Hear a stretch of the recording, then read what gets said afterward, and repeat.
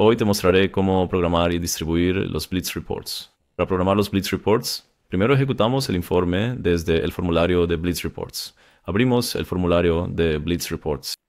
Digamos que en este ejemplo, Shell Balance, y luego lo ejecutamos una vez. Ahora ves el estado aquí, pendiente, ejecutándose, y una vez que se complete, mostraría el archivo de salida. Entonces, cada informe de lista se ejecuta como una solicitud de fondo de concount. Y para programarlo, sabríamos que se ejecutará una vez. Iríamos a ver solicitudes. Y desde aquí lo ejecutaríamos. Y desde aquí volveríamos a ejecutar la solicitud. Entonces aquí tenemos nuestra solicitud de concount. Podríamos copiarla o volver a ejecutarla. Y la razón por la que la volvemos a ejecutar desde aquí, después de enviarla desde nuestro formulario de Blitz Report, es que entonces tenemos los parámetros en las posiciones correctas. Así que todos los Blitz Reports se ejecutan bajo el nombre del programa de concount llamado Blitz Reports. Y el primer parámetro es el nombre del informe, el segundo parámetro es la plantilla, y así sucesivamente. Y los parámetros reales del informe están aquí abajo. Pero en la pantalla de Oracle, solo se llaman parámetro 1, 2, 3, 4, 5 y así sucesivamente. Así que no sabrías que en este caso el quinto parámetro es el nombre del libro mayor o el octavo parámetro es el nombre del periodo y así sucesivamente. Por esa razón, primero lo ejecutarías desde el formulario de Blitz Report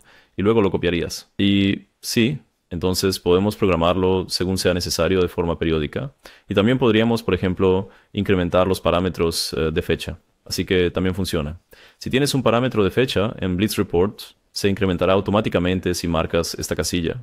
Pero ahora, la razón por la que programarías el Blitz Report generalmente es que te gustaría que la salida se enviara automáticamente a algún lugar. Entonces, en este caso podríamos especificar aquí la opción de entrega. Así que podríamos especificar un correo electrónico y podríamos enviarlo por FCP a un servidor específico o podríamos usar el mensaje de envío WebDAV de esta nube. Pero el más popular es el correo electrónico y para eso, para hacerlo más fácil para los usuarios, hemos ah, colocado el correo electrónico en nuestra pantalla de opciones. Así que la pantalla de opciones se puede acceder directamente desde el formulario de Blitz Report aquí. Cuando haces clic en esta área gris, se abre una pequeña ventana como esta y aquí puedes seleccionar un correo electrónico. Así que podrías usar el editor para ingresar un correo electrónico y también puedes usar una lista de distribución separada por punto y coma o comas o lista de distribución separada por saltos de línea de más de un correo electrónico o puedes seleccionar un correo electrónico de la lista de valores. Así que seleccionemos mi propio correo electrónico y luego podemos enviarlo así. Déjame enviarlo. Y ahora veremos si miras la solicitud de nuevo. Vamos a ver las solicitudes. Una vez que hayamos llenado el correo electrónico en la pantalla del reporte Blitz, aquí en los detalles encontramos que la opción de entrega para el correo electrónico está completada. Así es como Blitz Report o envía los correos. Simplemente llena automáticamente las opciones de entrega aquí desde Oracle y luego el gestor de procesos post estándar de Oracle envía el correo. También tenemos, eh, ves aquí el asunto, también tenemos un asunto, este es el asunto predeterminado y usa marcadores de posición. Así que dinámicamente, por ejemplo, en el asunto del correo, muestra el número de filas que se devolvieron. Y también puedes crear tu propio asunto de correo y modificarlo según sea necesario. Déjame mostrarte el ejemplo del correo. Entonces, este era un ejemplo. Como ves aquí, este es el resultado. Este es el asunto. Muestra el nombre del reporte, el número de registros recuperados y así. Y el archivo de salida es el mismo que tendrías en el servidor aquí. Así es como funciona el método de envío de correos.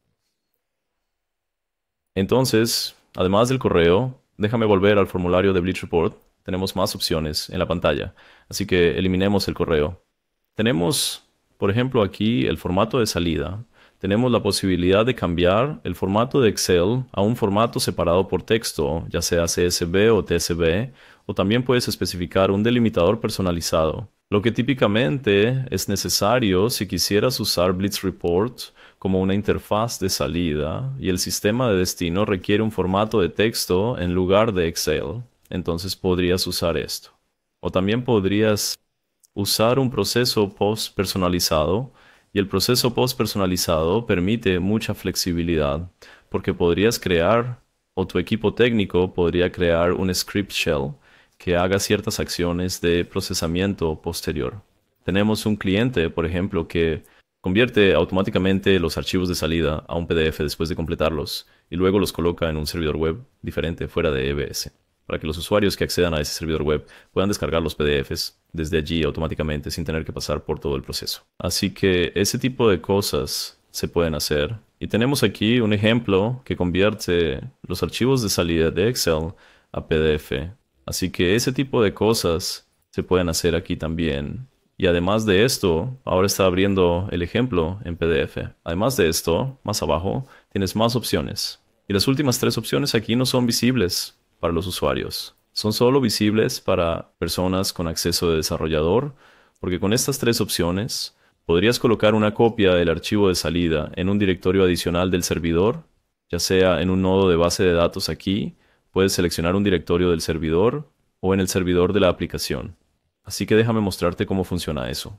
Entonces supongamos que nos gustaría tener un archivo de salida adicional colocado automáticamente en la carpeta CMP y también podemos tener el nombre de la carpeta dinámico dependiendo de los parámetros que utilizamos. Y eso es muy bueno porque podríamos, por ejemplo, automáticamente, dependiendo de los parámetros que utilizamos en el reporte, crear un directorio. Digamos que nos gustaría tener un directorio separado que tenga el nombre de la contabilidad en la ruta del directorio y también, digamos, el periodo financiero aquí.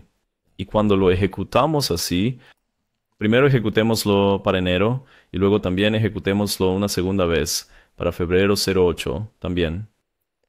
Así que ahora lo ejecuté dos veces. Así que ahora esperaríamos eh, que en el servidor tuviéramos una carpeta creada llamada barra TMP y luego el nombre de la contabilidad y luego el nombre del periodo.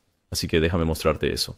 Así que aquí esta es la herramienta de acceso para el servidor de aplicaciones XSD. Aquí tenemos nuestra carpeta TMP y aquí ahora tenemos nuestra carpeta creada llamada Vision Operations, que es el nombre de la contabilidad. Y aquí tenemos nuestros periodos financieros. Y eso es muy bueno porque de esta manera podrías programar, por ejemplo, al final del mes, podrías programar una lista de solicitudes concurrentes o una lista de informes Blitz y luego colocar automáticamente todos los archivos necesarios en una carpeta específica, por ejemplo, con el nombre del periodo financiero como nombre de la carpeta. Y también puedes usar los reportes Blitz en un conjunto de solicitudes, por ejemplo, para que puedas ejecutarlos todos al mismo tiempo en un solo conjunto de solicitudes. Así que todas estas cosas se pueden hacer Bien, esa fue una introducción rápida a la programación con el reporte Blitz.